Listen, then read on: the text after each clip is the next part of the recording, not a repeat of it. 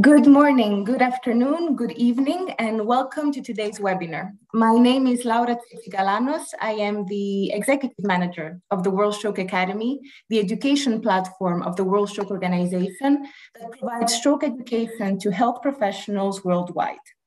Now, it is with great pleasure that I'm hosting this educational activity today for you on ESUS latest advances and research priorities with exceptional speakers sharing their expertise on the topic.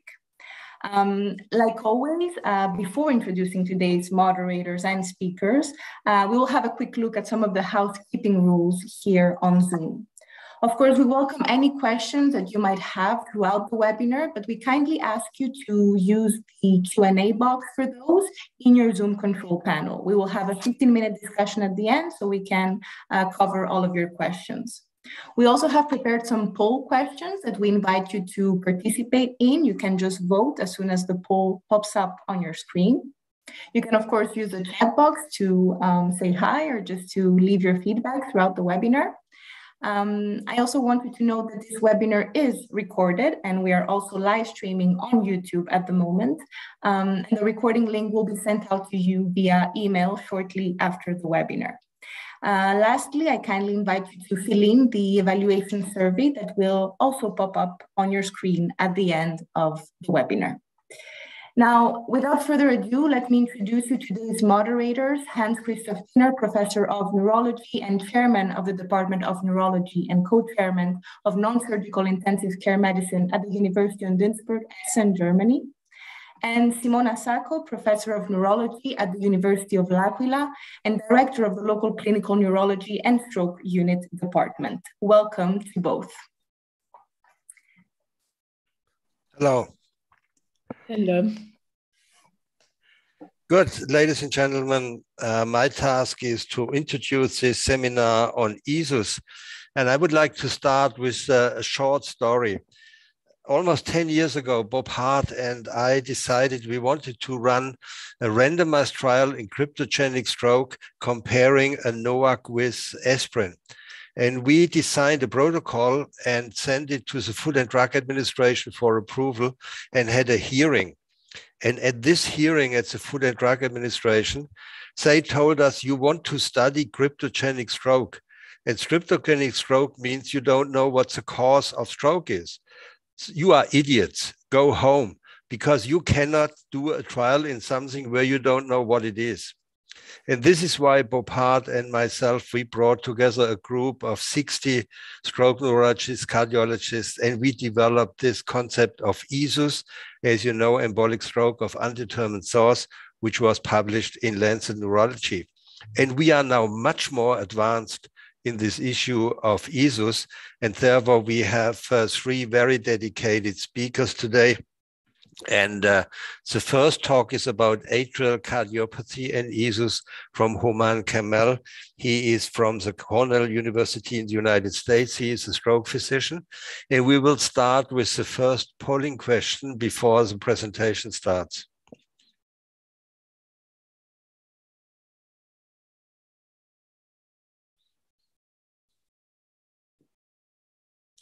So please tick one of the answers.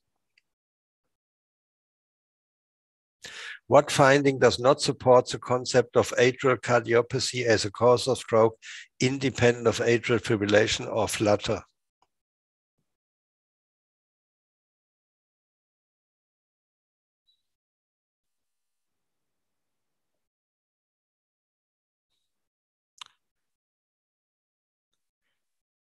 Okay. So, oh, this is, they are equally distributed. And uh, I hope, Houman, that you can uh, comment in your talk and after your talk about these results. So let's go to your presentation, Houman. All right, hello, everyone. Um, it's a pleasure to be here. I'll share my screen. And can everyone see my slides okay? Yes. All right, great. So I'll be talking today about uh, atrial cardiopathy and, and ESUS. And before I start here, are my disclosures.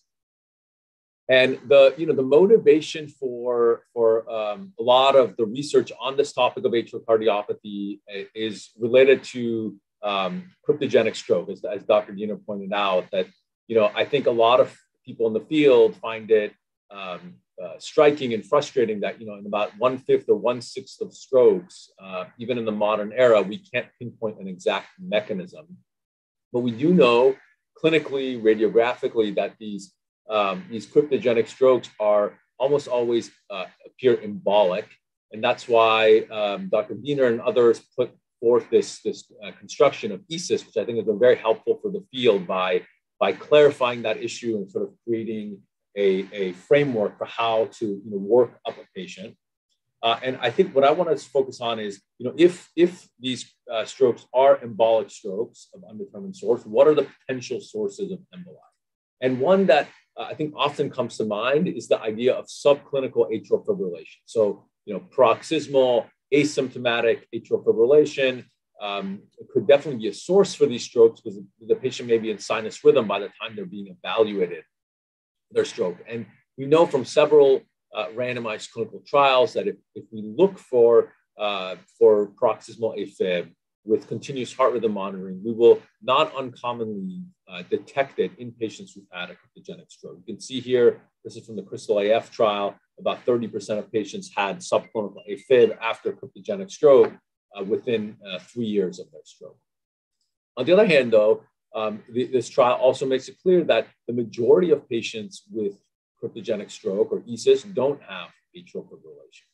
And another puzzling aspect of, of the link between AFib and stroke is that there's, a, there's an association between a single isolated episode of AFib. So a six minute episode of AFib in the ASSERT study, um, which enrolled about 2,500 patients with, you know, who had an implanted uh, cardiac device that could monitor their rhythm a single uh, episode of AFib was associated with stroke months down the line, which doesn't really make sense if you think of AFib as the actual cause of stroke, right? How can six minutes today cause stroke several months later?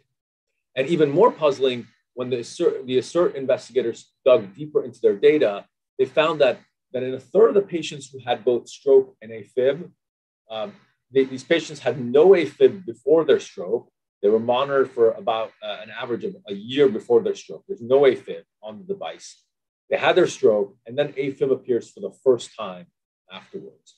And as they themselves pointed out, this, this lack of temporal association, the association between brief AFib episodes and stroke months later, uh, calls into question the current understanding of how AFib causes stroke.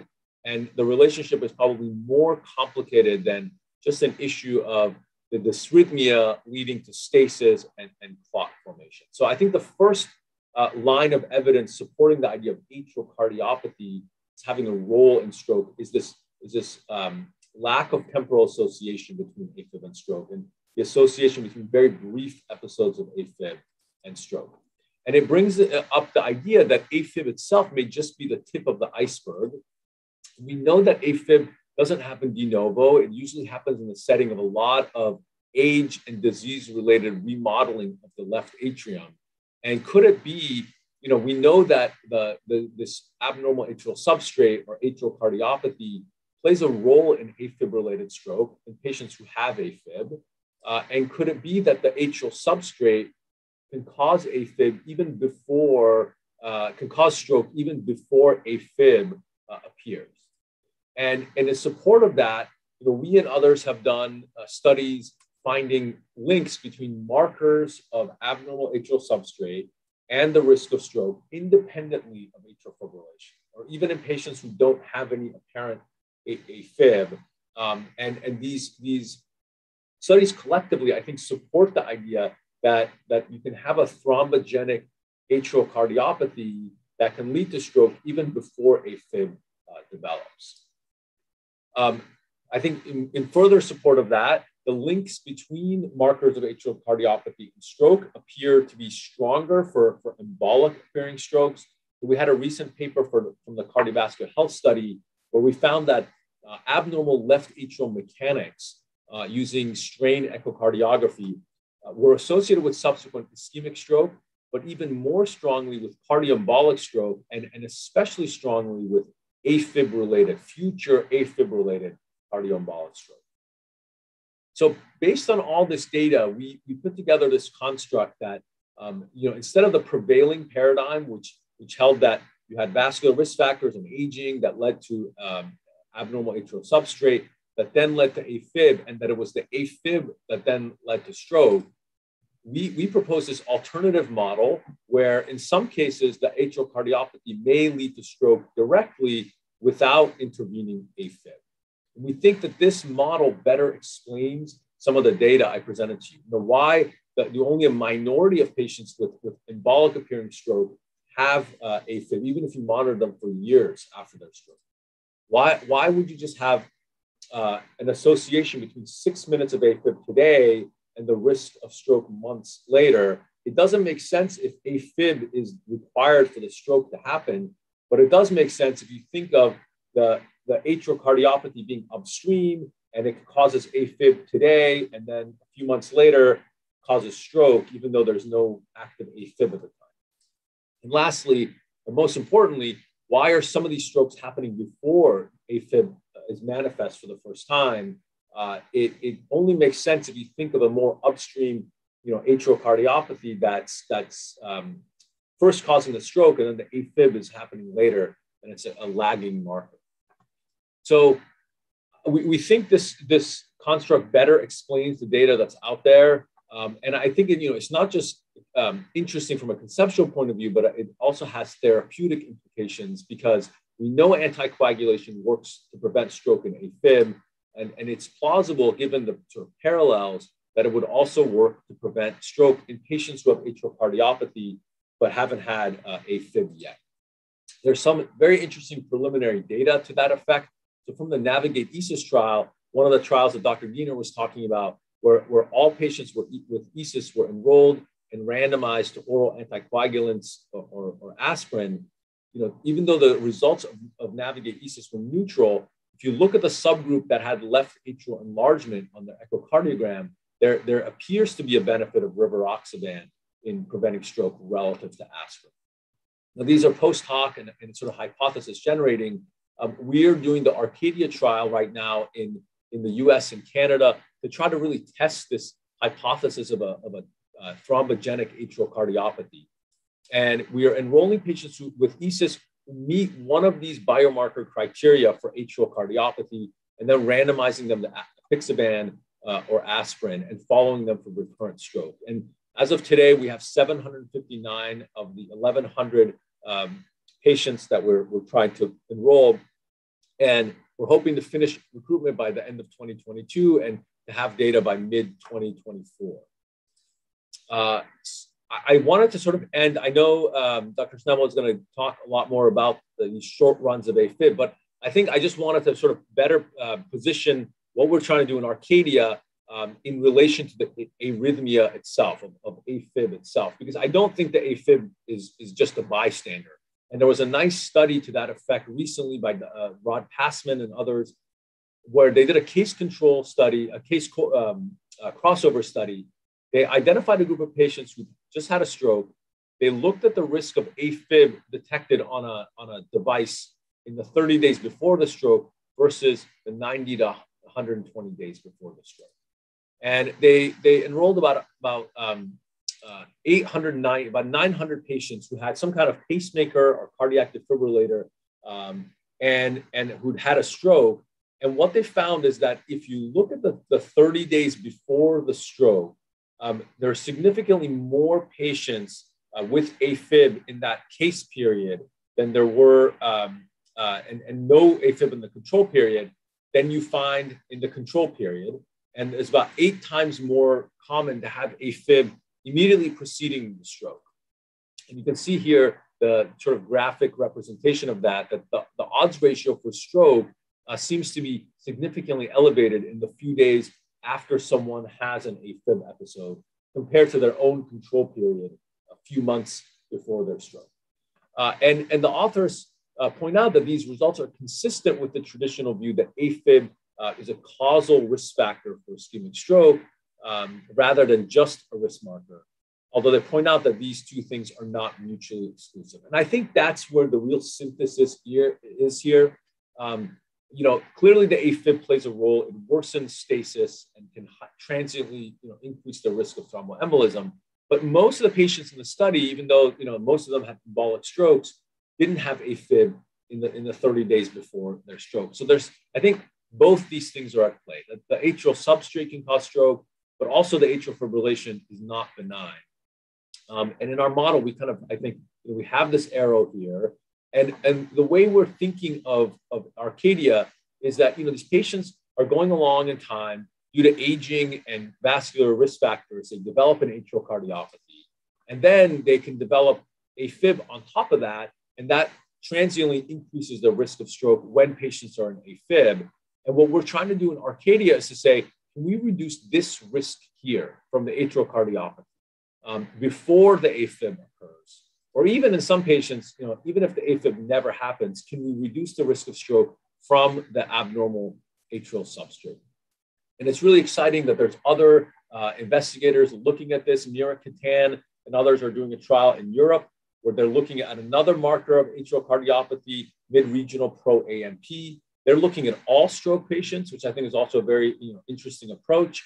And, and so hopefully there will be you know, many trials coming down the line looking at this idea of atrial cardiopathy. And there's just a lot of really exciting treatments on the horizon for preventing uh, cardiac embolism.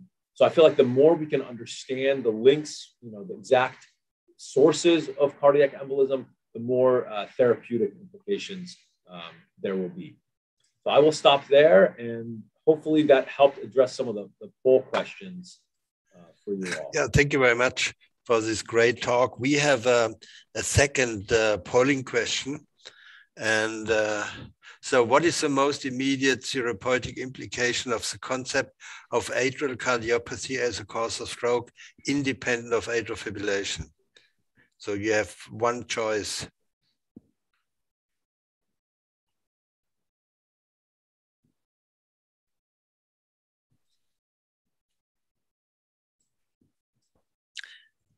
Okay, can we have the results? Houman, your comment? That's great. Yeah, no, I think that's very much it. That um, you know, I think the the what we're trying to test in Arcadia, whether what you know the Moses trial is trying to test is the idea of you know can you anticoagulate these patients and see a benefit the same way we see in AFib. So that's that's exactly right.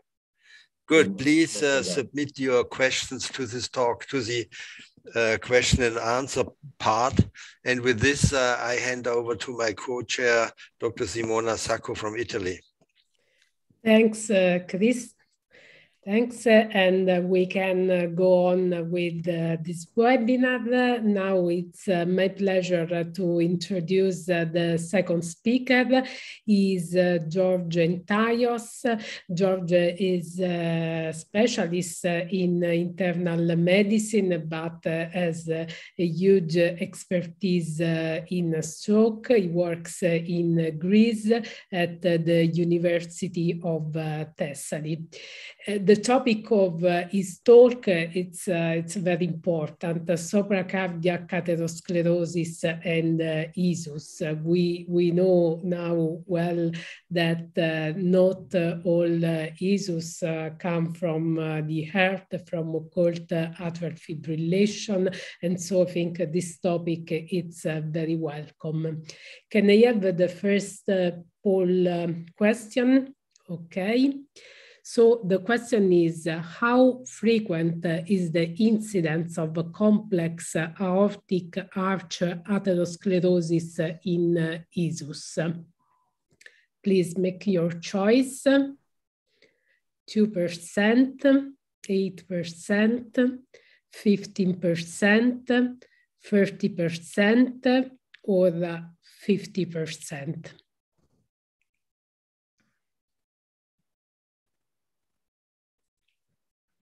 Well, there's, uh, I think, an equipoise between uh, 8% and 50%. Uh, we will learn more with uh, this talk. Please, George. Um, th thank you very much. Simona. It's a pleasure to be here with you and uh, Chris and Houman and Renate and the truly international audience. See at the chat room that this is really an international audience. Very glad to be here. Also, many thanks to Laura for organizing this and to the World Stroke Academy and the World Stroke Organization for giving us the chance to discuss about ESUS, uh, which is uh, not rare at all. Um, uh, which is not rare at all. Uh, in about 17 to 20% of our patients, uh, we cannot decide with a decent level of certainty what is the underlying cause of uh, stroke. And these are the strokes that we used to call them cryptogenic, but uh, as Chris Diener said, uh, nowadays we call those patients as ESUS, as embolic strokes of undetermined source. And there may be uh, several causes of stroke in these patients, um, uh, like, for example, uh, atrial fibrillation or perhaps atrial cardiopathy, as Houman mentioned, but also uh, another cause which was a bit underestimated in the beginning were atherosclerotic plaques in the arteries that supply the brain.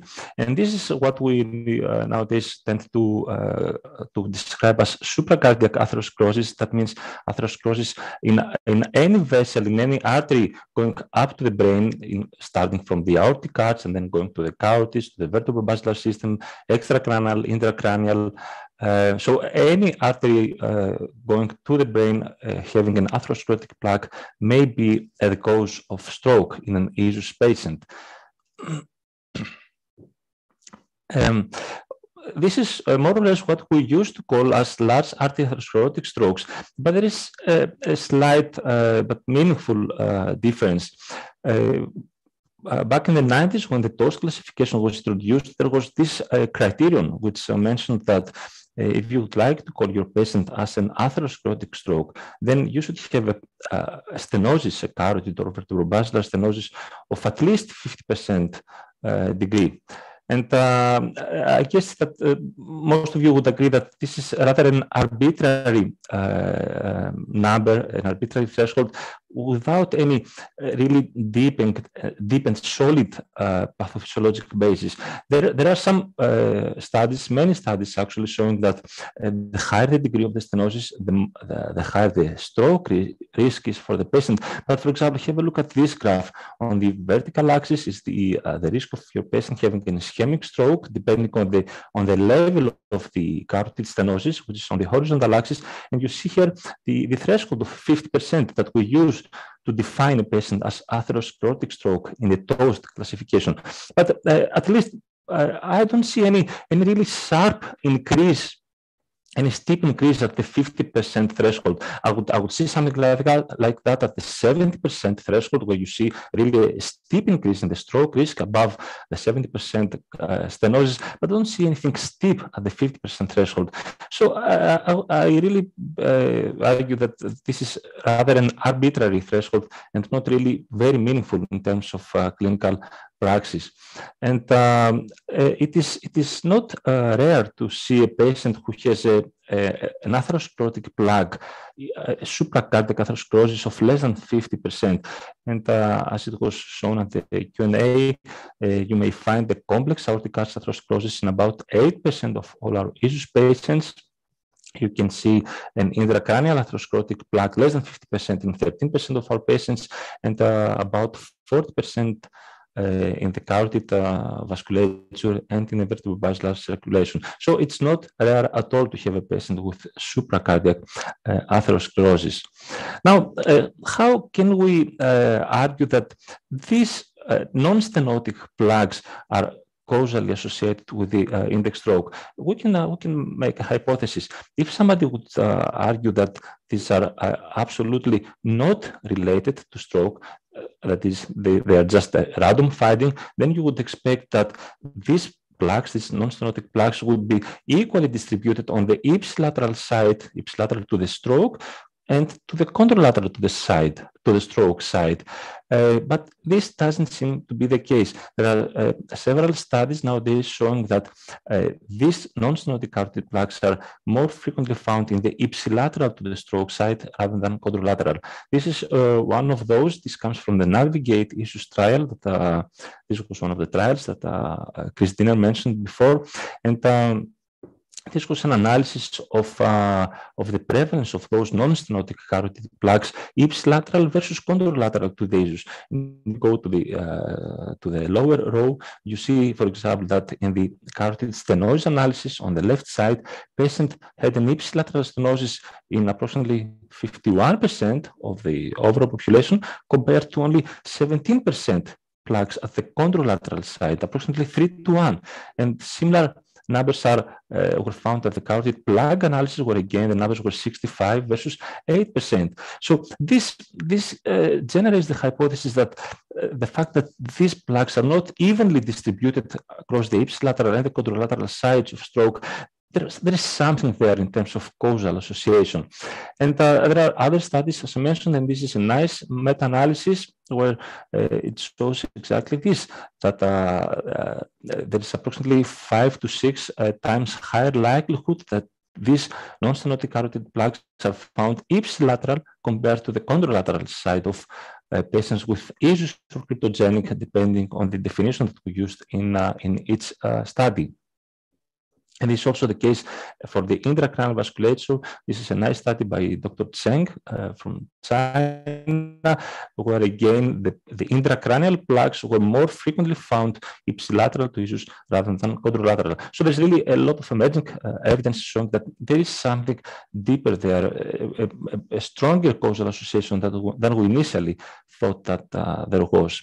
So uh, let's assume, let's let's take the example that we have a patient and this patient uh, has no identifiable cause of stroke. Uh, we didn't manage to find any uh, meaningful duration of atrial fibrillation, and this patient has, for example, 40% carotid stenosis ipsilateral to the stroke. How how can we identify that perhaps this is associated with the with the index stroke? Uh, back in the 90s, when the TOAST classification was introduced, we didn't have the sophisticated imaging that we do have nowadays, but uh, now we have uh, higher abilities and we can have a much better look at the plaques, at the atherosclerotic plaques and, and judge whether these look uh, ugly or not.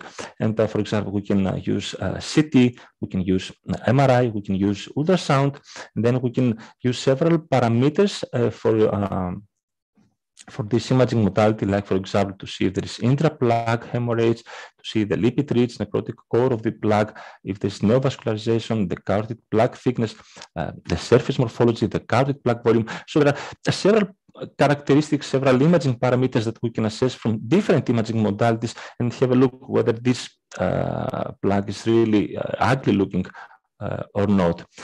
Uh, which one to choose. Uh, there are pros and cons for each diagnostic modality. For example, the ultrasound is widely available. It's uh, it's very good to to measure the the plaque, but it's not that good to assess the, the characteristics of the plaque, the intraplaque hemorrhage, the necrotic or the fibrous cap.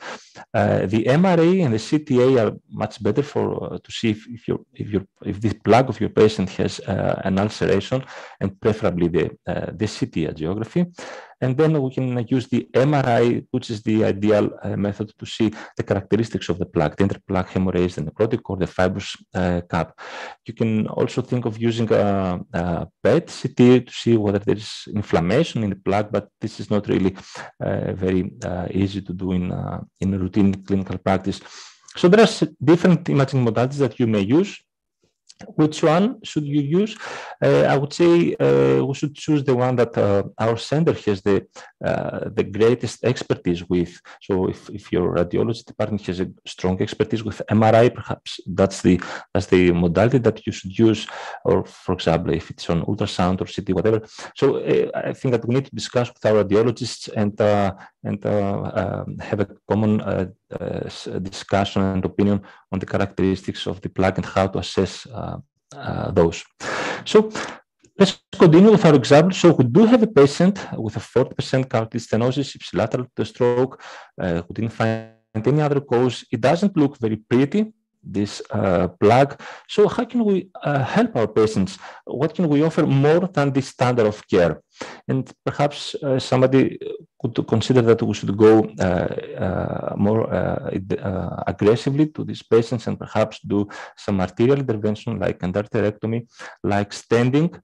Um, we do have a subgroup analysis of the of the classic trials of endarterectomy, and uh, there's this uh, this subgroup analysis in patients who had uh, a carotid stenosis between 30 and 49 percent, and you see that compared to the standard of care of that time, endarterectomy didn't make any difference at all. So we don't have really no evidence at all to support that we should uh, operate uh, or intervene to these uh, plaques. But still, uh, this, this, these trials are about 20 years uh, old now. Uh, the standard of care has changed.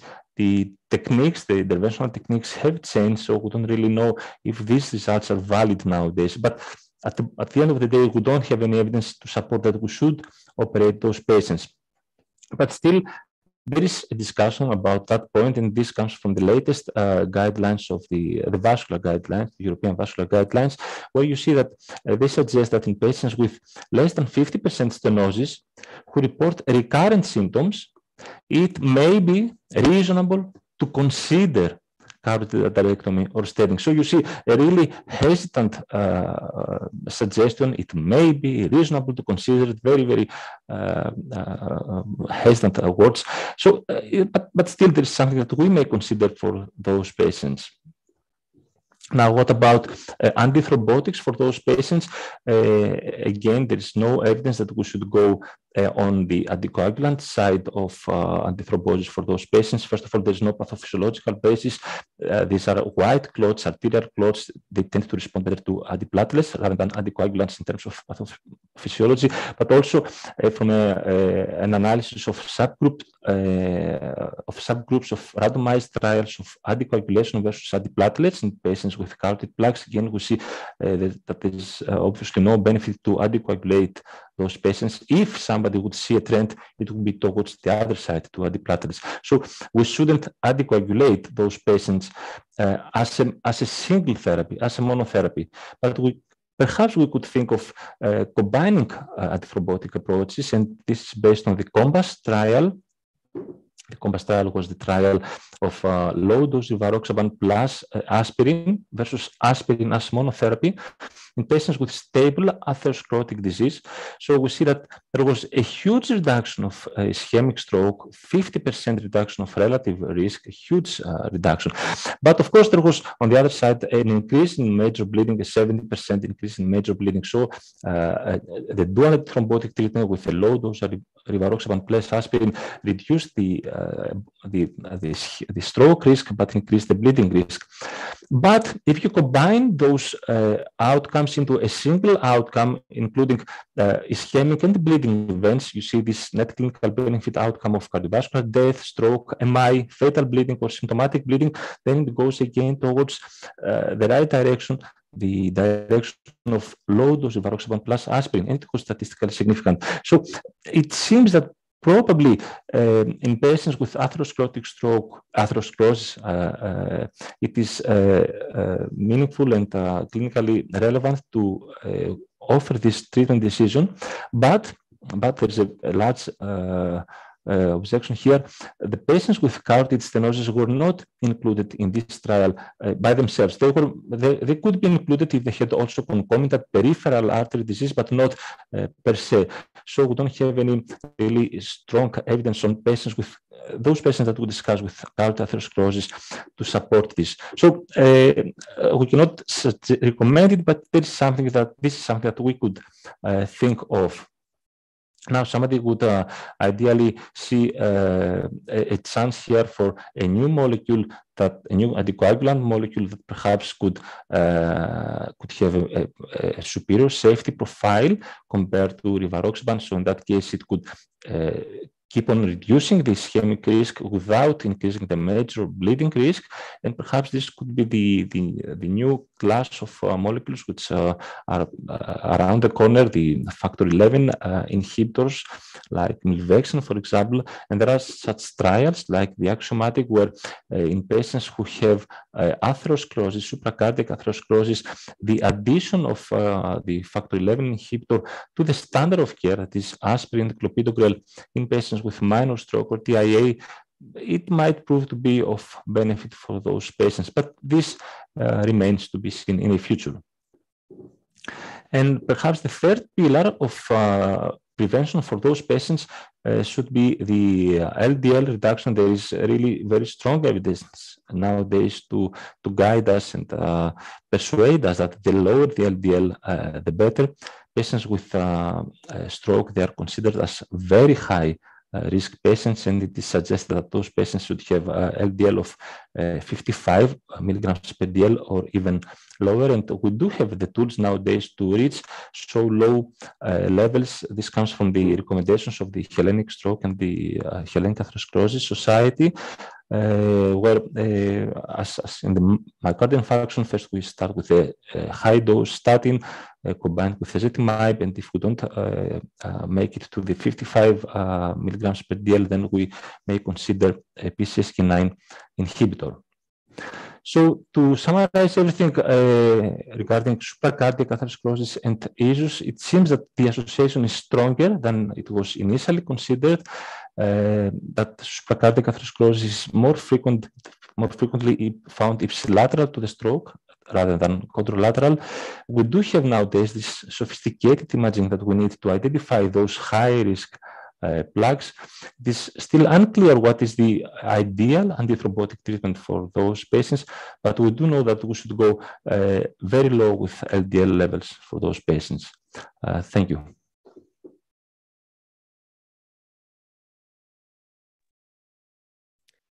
Thank you. Thanks, uh, George, for uh, this uh, really nice uh, and important presentation. I can see that uh, there are uh, questions coming and we will answer all of them at the end of the session after the last speaker. now, before going on, we have the, the poll question So which is the optimal diagnostic modality to assess intraplaque hemorrhage at the carotids? MRI, MR angiography, CT, CT angiography, ultrasound.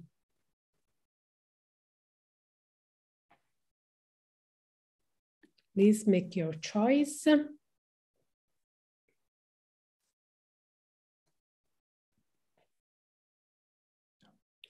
Well, majority MRI, but MR angiography is uh, very close. George, what's your comment about this? Yeah, I think I would agree with a, with this 36% of our colleagues who voted for the first choice.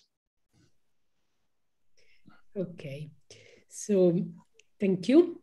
Thank you. And uh, now I hand over to Chris for introducing the last speaker. Yeah, thank you very much. It's uh, my pleasure to introduce uh, Professor Renate Schnabel. She is from the famous Heart Center at the University of Hamburg. And her topic is short runs of atrial fibrillation and ischemic stroke. And we will also start with a polling question.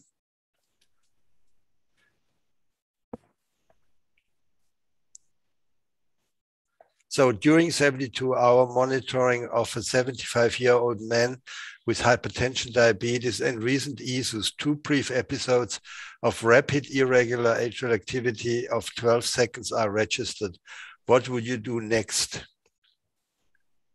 So all anticoagulation, combination with antiplatelet therapy, intensified search for AF, or ignore it sends the patient home.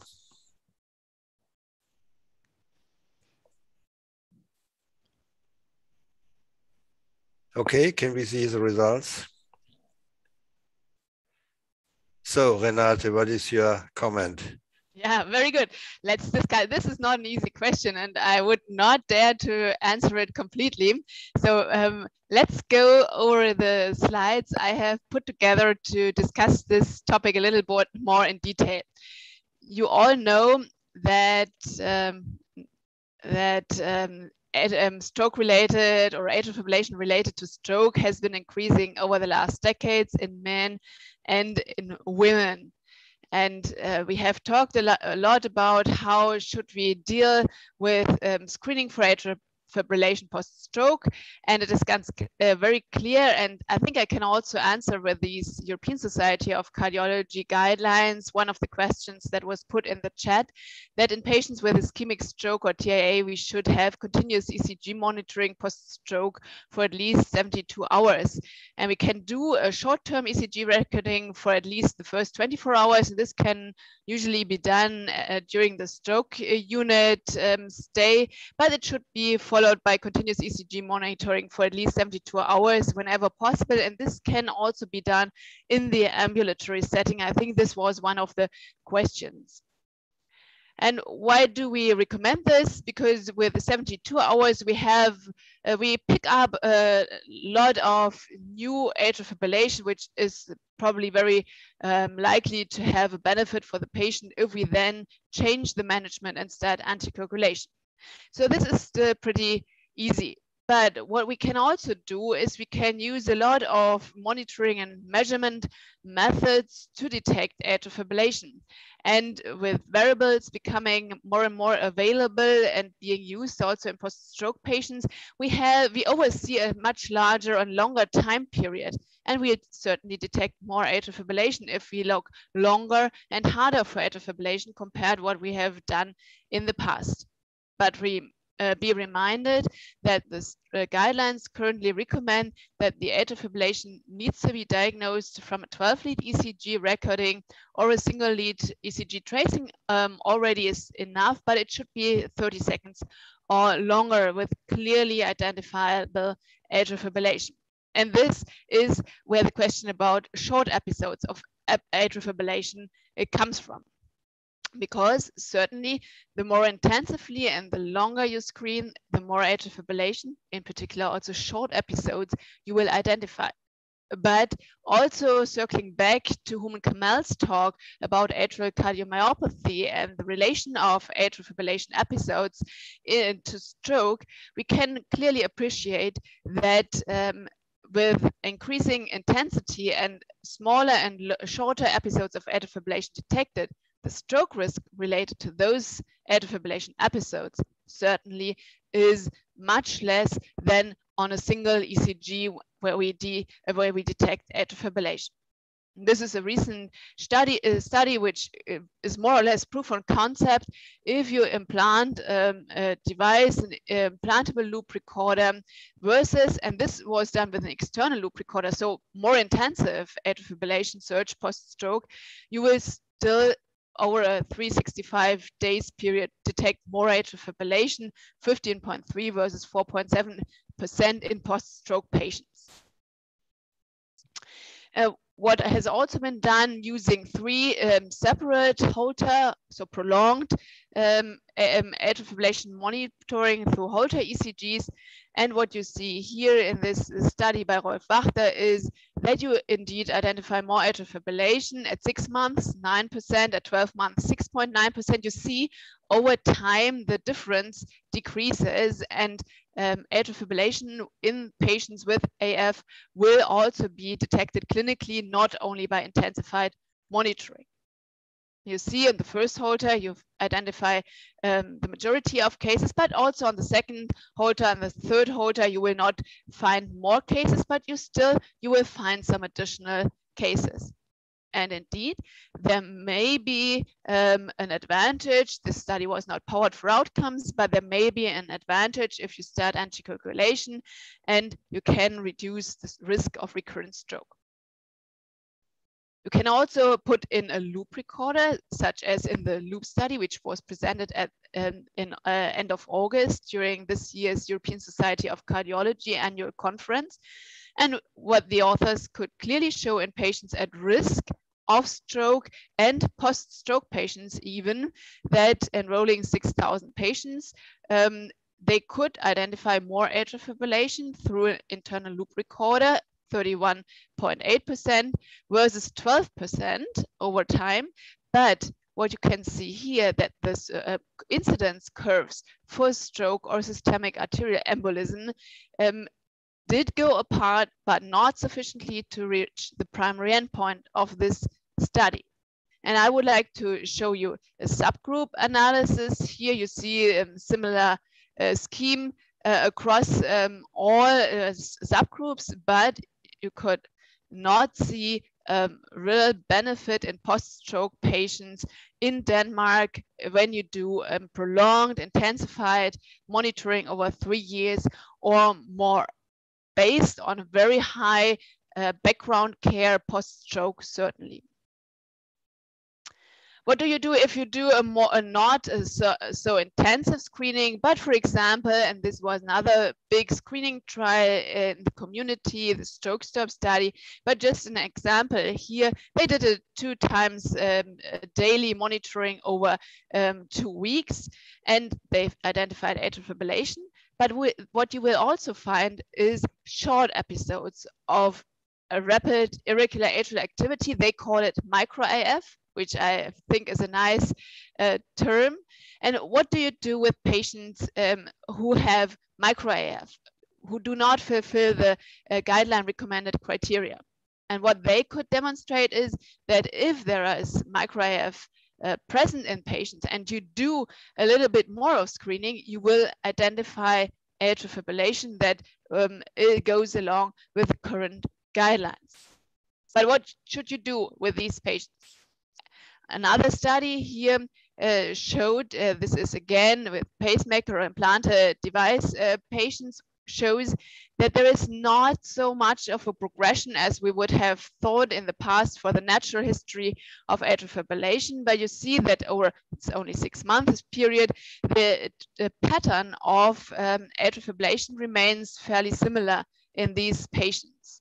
Certainly, uh, there are characteristics that are related to the length of the atrial fibrillation episodes, such as uh, male sex, number of comorbidities, waist circumference, creatinine, uh, class 1 antiarrhythmic drugs, statin use, and left ventricular mass. So predictors of longer episodes. Well, you will also meet um, high, um, episodes of atrial fibrillation that do not uh, translate, is necessarily delayed to translate into classical atrial fibrillation is in pacemaker patients or patients with implanted devices. What should you do with those? Ideally, you would identify atrial fibrillation on a 12 lead ECG in these patients, but atrial fibrillation is intermittent. So if you don't find atrial fibrillation on the 12 lead ECG and cannot clinically detect atrial fibrillation, what would you do? And this is a survey and people were asked what they would do if they identified such atrial high rate episodes. And um, in male patients uh, with a CHA2DS2-VASc score of one, only 10% would anticoagulate with a single run. Um, about 37% would anticoagulate with multiple runs. Maybe let's go to the last uh, columns on the right-hand side. In patients with recent ischemic stroke, for which no potential cause has been identified, 79% of um, individuals um, here asked would anticoagulate a single run and 90, 89%, almost 90% would anticoagulate if there are multiple runs. And this is in line with our pathophysiological thinking and um, meta-analysis data that show that indeed atrial high rate episodes appear to go along with increased risk of stroke or systemic embolism. And therefore, um, we would suggest that you should, um, if you have atrial high rate episodes, if you identify short episodes of potential atrial fibrillation, try to capture, capture them with a 12 lead ECG or a Holter ECG. And then it is clear, then you fulfill the guideline criteria and you would anticoagulate. But what if uh, you cannot capture it? We know that um, the thromboembolic risk is increased to about twofold um, incidence atrial high rate episode versus 4 to 4.5% incidence of atrial fibrillation. Atrial fibrillation, if it becomes manifest, has a really high incidence of uh, thromboembolic events, uh, but atrial high rate episodes also, also increase risk of incident heart failure or um, MACE. So what should you look for? Duration of atrial high rate episodes, CHA2DS2-VASc score, comorbidities, and then decide on anticoagulation. And maybe you should use additional um, parameters that are also related to atrial cardiomyopathy, for example, like clinical characteristics, older age, cardiovascular risk factors, in particular heart failure, but also signs of atrial cardiomyopathy and left ventricular dysfunction, such as increased left atrial diameter. We saw um, the sub-analysis of the Navigate ESUS study, reduced left ejection, uh, left ventricular ejection fraction, or atrial tachycardias with over 20 beats. Biomarkers, for example, we have heard about that too, or possibly also stroke etiologies such as cryptogenic or ESUS strokes. But does this really apply for atrial fibrillation, short runs of atrial fibrillation? Currently, we cannot say. So these are all speculations. And for now, we would suggest that you should do the regular monitoring in your stroke patients, ECG monitoring, 72 hours monitoring. And in particular, if you have short runs of atrial fibrillation, this may be an indicator of prevalent atrial fibrillation if you lo look for atrial fibrillation longer and more intensively. That means do additive non-invasive ECG monitoring based on this risk stratification. And if you have short runs of atrial fibrillation, do a more intensified search for atrial fibrillation. And when you can clinically identify atrial fibrillation, then start anticoagulation if there are no contraindications. But I would be happy to discuss this topic further. Thank you very much. Thank you very much. Um, we have now another polling question, the final one. So which answer is most likely correct? A single lead ECG tracing of more than 30 seconds showing heart rhythm with no repeating P waves and irregular RR intervals when atrioventricular conduction is not impaired is diagnostic of clinical. Short runs of AF post-ESUS are not related to atrial fibrillation. Short runs of AF are surrogates of atrial fibrillation and require oral anticoagulation in ESUS patients. And atrial high rate episodes detected from pacemaker interrogation post-ESUS are sufficient to change the therapeutic management and start oral anticoagulation at full dose. Please select one.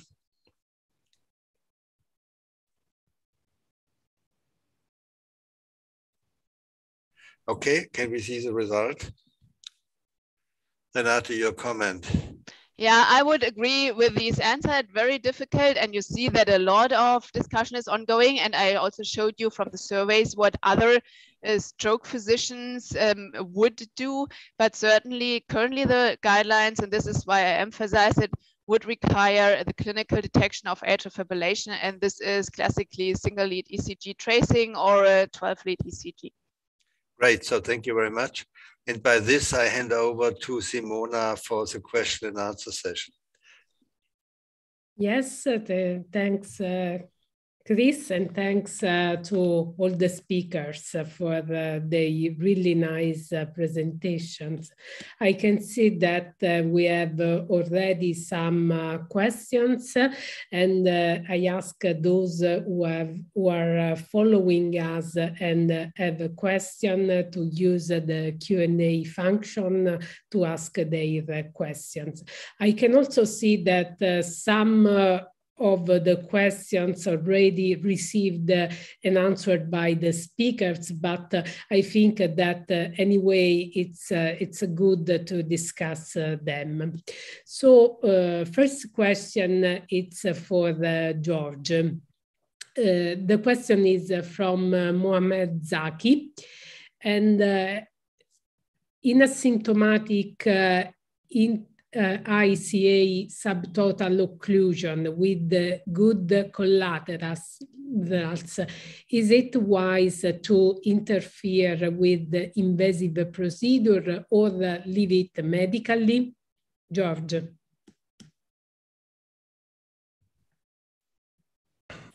Uh, thank you, Simona. Although I think that uh, this is this is not directly related to what we, we have been discussing at least my presentation, but I think that uh, uh the answer should be yes. Uh, we have a, a subtotal occlusion, uh, then we should go aggressively with intervening and obviously taking care of all underlying risk factors that led the patient to this to this lesion.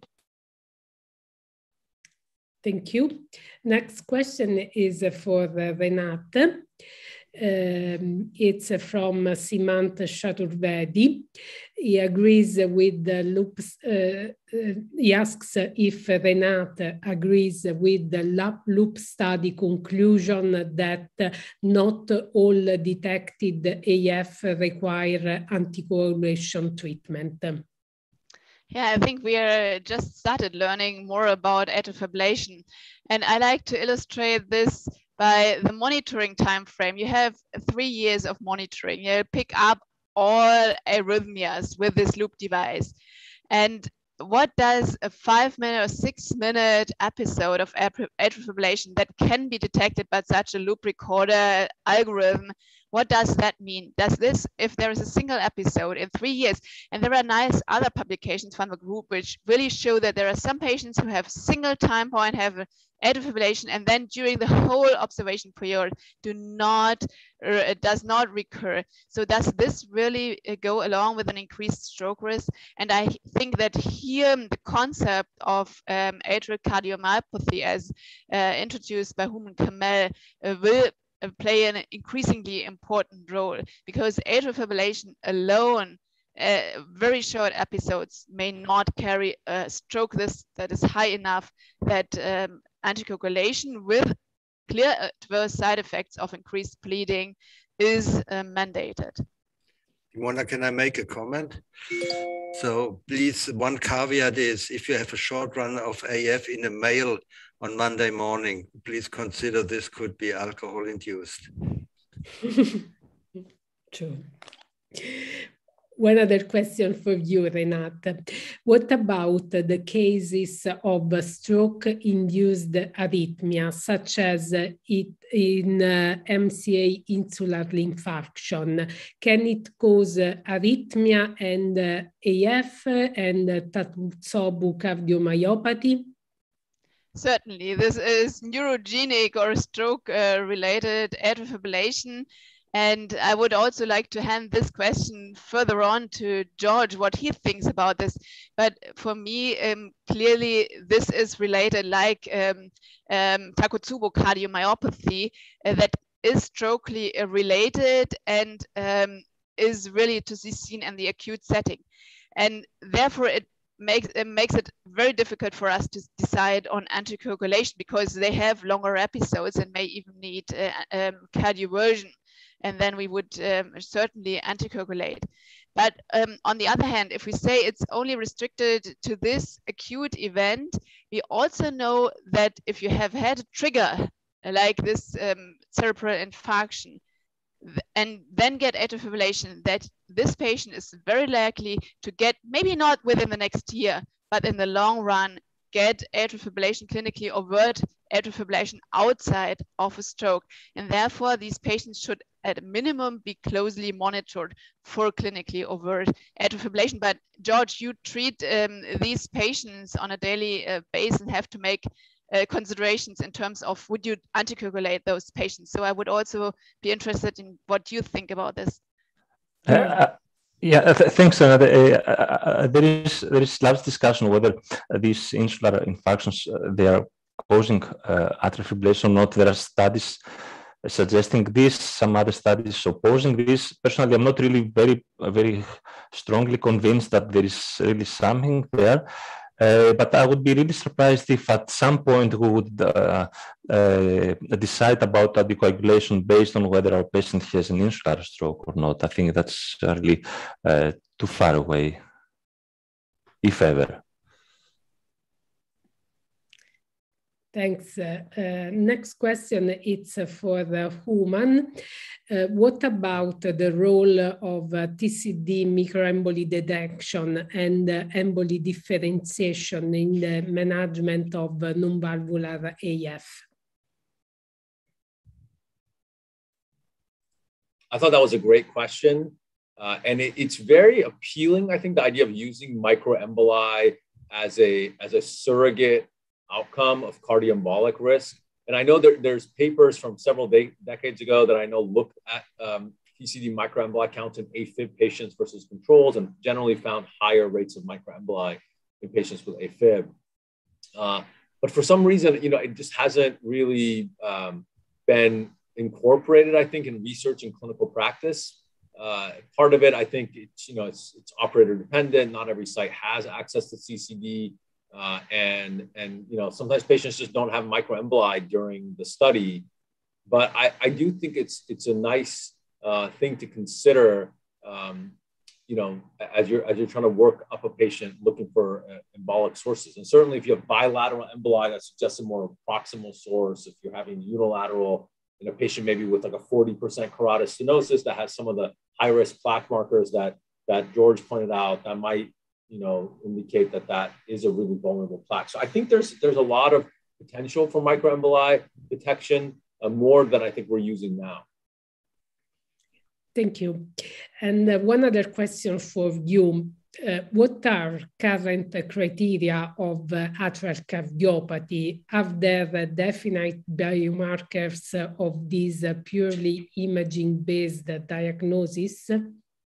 Yeah, I, I wish I wish I knew the answer. I don't think anyone really knows. And you know, there was a nice um, consensus document in 2017 um, that sort of you know proposed this concept of atrial cardiomyopathy. Uh, but but you know we, we don't really have prospective studies that have looked at a variety of different markers of left atrial disease and followed patients for stroke risk and tried to see what's most predictive of stroke. And so, you know, I, I, think for now we have a variety of markers, either by echo, cardiac MRI, serum biomarkers, some EKG markers uh, that, and obviously AFib itself, I think is also, you can think of it as, partly a biomarker. Um, and so uh, all these things are in play and, and I don't think we know what the best uh, definition is. And, you know, when we, when we were proposing the Arcadia trial, that was one of the, the, the, critiques that we addressed head on. We said, look, we're not saying that our markers are definitive, but it's kind of proof of concept. You know, we're trying to enrich a population for some degree of atrial cardiopathy. And I think ultimately, I think we'll get there. We'll do the prospective studies. We'll figure out what the best combination probably of biomarkers are and, and come up with some kind of consensus definition. But for now, it, it, I, don't think anyone really knows. Uh, Houman, if I may, uh, Please, George, then. Uh... Thanks, Mona. Uh, Houman, if I may ask, uh, in case that the Arcadia or the Moses trial come out positive, do you think that it will be uh, forced to accept the inclusion criteria of those trials as the definition of atrial cardiopathy? Yeah, I think. Look, I think the, the mid-regional pro ANP, from what I know, it's it's a very you know, more specific to the left atrium, and I think if that works, and and that can be scaled up in practice. That that's you know i think a single time point blood-based biomarker is very appealing.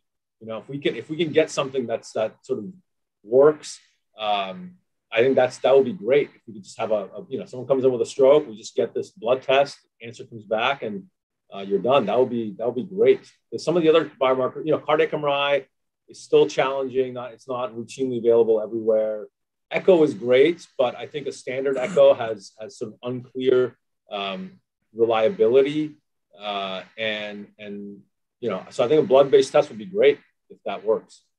Yeah, I think I think that uh, is really a, a, great example of personalized medicine. There are so many different groups of patients within the ESUS population, and we don't know how to assess their carotids. We don't know how to assess their heart rhythm monitoring. We don't yeah. know how to assess ideally the PFOs. So it's really personalized medicine. Yeah, and and a lot of overlap. So you know, patients will have multiple mechanisms, and just because they had one you know mechanism at play today doesn't mean that, that that'll be the same mechanism later on, although it seems to be generally the, the case. But so, so dear colleagues, I'm, I'm terribly sorry to stop this extremely important discussion because we are running out of time. And this gives me the opportunity uh, to thank all the speakers for these excellent presentations, to thank also Simona for, for running the discussion, and in particular the World Stroke Organization for making this kind of academy webinars available uh, for stroke uh, physicians and other physicians all over the world. So thank you very much for everyone. And with this, I hand over to Laura. Thank you very much. Um, let me go ahead and uh, put a little bit of links for you on the screen. Uh, wonderful discussion, great presentations and questions. We have some questions that were unanswered. We're going to try to uh, answer all of those and upload them on the World Stroke Academy. I want to thank our speakers. I want to thank our moderators. Uh, of course, as mentioned at the beginning, a recorded version of this webinar will be shared with you. And in the meanwhile, I ask you to make sure to follow the World Stroke Academy website, as well as our Twitter and LinkedIn pages. Uh, for our upcoming webinar, uh, it will take place on December 8th at 4 p.m. CET on the topic of stroke in the very elderly. We look forward to seeing you in our next webinar. And until then, take care. Bye, everyone. Thanks, everyone.